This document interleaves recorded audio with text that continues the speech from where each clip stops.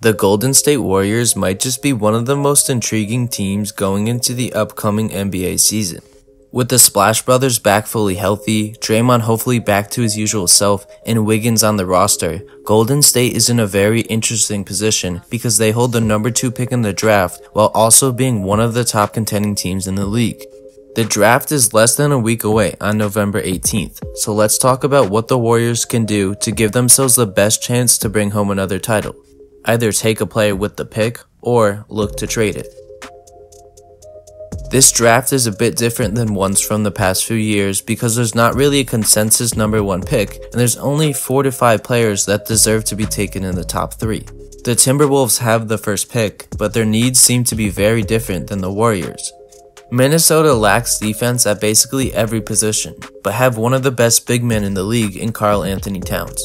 The Warriors, on the other hand, need help at the center position and could also look to add a key piece to their bench. If they want to go the route of drafting a center, I think there's only two real choices the Warriors should be considering with the second pick, and that is James Wiseman and Onyeka Okongwu. It seems like the majority of NBA fans would choose Wiseman here because he might have a bigger impact right away and more potential in the offensive end. Many draft analysts say that he moves like a wing but has the body of a rim protector. His athleticism might just be what makes him such an intriguing prospect. Typically, players of his size don't have the level of agility that he has. Wiseman is light on his feet, has a great vertical, and of course the length to go with it. As long as he has a decent understanding of where to position himself on defense, he should have all the necessary skills to be a great rim protector in the NBA. On the offensive side, his size and physical skills make him an obvious lob threat, whether it be in the pick and roll or in transition. And although he only played a few games for Memphis, Wiseman has shown the ability to stretch his shot up to the three point line. So if the Warriors select him, how would he fit into their system? Defensively, I think he could be a great weak side shot blocker, similar to the role that Giannis has on the Bucks, although not nearly as effective, especially in only his rookie season. There have been many questions about his basketball IQ, so Golden State should be worried about having a rookie as their centerpiece of the defense. Golden State usually likes to run a high-paced offense that moves quickly in transition, resulting in a 3 from either of the Splash Brothers or an easy finish at the rim, and I think Wiseman should be able to keep up with their pace. While he was able to shoot some threes in college and has shown his range in pre-draft workouts, his shot is very slow with a long wind-up time. So I think he would only be able to get his shot off on absolutely wide open threes, which would probably be less effective than him rim running for lobs but it's still a positive. The main question about Wiseman is that he only played three games at Memphis before being suspended. So is he the real deal? Leave a comment down below telling me what you think. If the Warriors are scared to take a chance on Wiseman but still want to go after a defensive big, they could look to draft Onyeka Okongwu instead. In my opinion, I think he'll be the better defensive player right away because his basketball IQ is greater and he should be able to switch onto smaller players easier. Okongwu is a little smaller than Wiseman, standing at only 6 foot 9, but has a similar wingspan. Like Wiseman, his athleticism is what makes him such a great prospect. He's exceptionally strong for his size, has a great vertical, and in my opinion, is even more agile than Wiseman. Defensively, he is elite both in the paint and on the perimeter, which is the reason why I think he could have more of an impact right away. Switching on to smaller players is so important in today's NBA, especially when it comes to the playoffs, and I'm sure that's what the Warriors are focused on. Offensively, he is definitely outclassed by Wiseman, but still is great in the pick and roll, and his off-ball movement is among the best in this draft. Sometimes he does rely too much on his strength down low, but I think in the Warriors system, he wouldn't have too much responsibility on the offensive end for that to even be a real issue. Like Wiseman, Onyeka will be able to keep up in transition, be a constant lob threat, and is known to be a great offensive rebounder due to his off-ball movement. If I were the GM of Golden State and had to pick a center with the second pick, I would choose Okongwu because he has a higher basketball IQ and is elite both in the paint and on the perimeter. While I do think Wiseman has more potential as an all-around player, I feel like Onyeka could be the better defensive big man for a team looking to bring home the title. However, no matter how good either is, a contending team typically doesn't want to rely on a rookie as their main source of protecting the rim. So let's take a look at who else the Warriors could target if they wanted to get a solid player to come off their bench or even fit into their starting rotation if things work out. The other top options of this draft are LaMelo Ball, Anthony Edwards, and Deni Avdija has been getting more and more attention recently. Anthony Edwards is the best pure scorer out of these three. He stands at 6'5 and draws comparisons to Donovan Mitchell. He has great physical skills with a combination of strength, quickness, and verticality that few guards in this draft possess. Edwards can score at all three levels, whether it be him playing above the rim, hitting pull-up mid-rangers, or shooting from deep. He's a constant threat on offense. His main issue in college was settling for shots and not taking over games when he definitely could have. However, playing on a team with talent like Stephen Klay, I really don't think that would be an issue because either he will have the keys to run the bench or be a complement scorer with the starters. On defense, Edwards has the physical tools to be very solid, but hasn't shown that he has the awareness to reach that level in his rookie season. Overall, if the Warriors were to select him, they would be acquiring a pure scoring guard that might be a little streaky, but should be able to break out for high scoring games from time to time. Moving on to LaMelo Ball, we have a 6'7 or 6'8 guard that can immediately help with his playmaking duties on any offense. He should be considered as one of, if not the best passers in this draft, and his court vision is on par with his older brother Lonzo.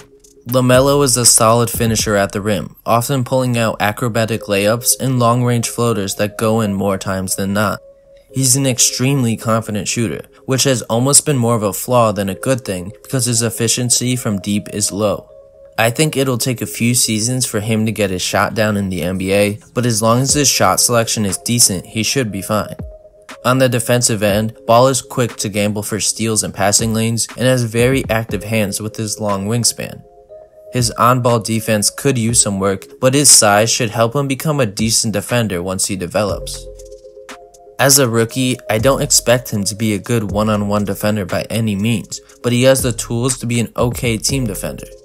The main upside for LaMelo is his playmaking, size, and confidence. If the Warriors were to draft him with the second pick, I think he would be best suited coming off the bench and running the offense there. With Edwards, Golden State would be getting a pure scorer, but with LaMelo, they are getting a guy that can keep the ball moving when their stars go to the bench, which could prove to be more valuable than a good scoring guard. The last player I could see the Warriors selecting is Deni Avdija. Similar to LaMelo, he's a tall guard-like player that is known for his playmaking. Standing at 6'9, Deni has the ability to play anywhere from a guard to a power forward. Many draft analysts agree that he probably has the highest basketball IQ of this draft and elite passing to go with it. He is good at almost everything on offense, capable of hitting pull-ups, step back threes, playing off the ball, finishing at the rim, and of course has great passing vision in transition. He has a less than average wingspan for an NBA player and has average athleticism. He isn't the quickest player, so he could have trouble getting around smaller defenders, but his size makes up for it. Deni isn't really known as a good defender, but like LaMelo, his size should help him be a decent one once he develops. If Golden State were to take him with the second pick, I think they would be getting the safer choice between the two elite playmakers in LaMelo and Deni. He would probably be used in the same way I described Ball being used by the Warriors, but I think the difference here is that Deni has a higher basketball IQ, which should be more useful in his rookie season. However, I do think LaMelo has more potential overall. If I had to choose between the three guards or wings, I would probably take Anthony Edwards because he has the physical tools to be a star and will undoubtedly provide a scoring punch off the Warriors bench, which is definitely something they need. In my opinion, if Golden State can acquire an already established defensive big plus a player with the second pick, they should go for it. While the previously mentioned players all can provide decent value in the starting rotation or off the bench, they are still untested rookies and have never played NBA basketball before. So a player that is already established defensively should be able to help this team compete even more. The issue with trading the pick is that the Warriors don't really have any cap space, so acquiring any player on a bigger contract will result in them having to move Wiggins with it. There's a ton of players that have been rumored to be on the move soon, but most of them aren't defensive bigs. The options are fairly limited, but I think there's a trade that could work out for both sides. The Pacers are in a weird situation right now, as they are kind of in the middle of the road in the East, which is the worst place to be in the NBA. They are neither contending for titles or tanking for draft picks. On top of this, Oladipo will probably be traded or leave in free agency next offseason, and they never really saw success playing Miles Turner and Sabonis at the same time. Because Sabonis has already proven to be an all-star caliber player and the team seems to put more focus on him, I think it would make more sense for them to move on from Turner. The Warriors could trade the second pick and Wiggins in return for Turner and a bench player such as Lamb or TJ Warren, and either can throw in an extra pick if necessary. With this, the Pacers get Wiggins, who is a good all around player when he's engaged, and the second pick, who they could use to take whoever they want to replace Oladipo or Turner. Golden State gets a rim protecting big and also a solid bench piece to fill out the roster. I think both sides win here, especially because Wiggins might not provide too much value to a contending team, and the Pacers roster needs a change. Other moves the Warriors could make would include moving down a few spots and acquiring a bench player, but I really think they end up trading for a good defensive big or just drafting a player with the second pick. Make sure to leave a comment down below so I can hear your thoughts on what the Warriors should do with their draft pick, and like the video if you enjoyed. As always, thank you for watching and consider subscribing with notifications on so we can continue to discuss different NBA topics.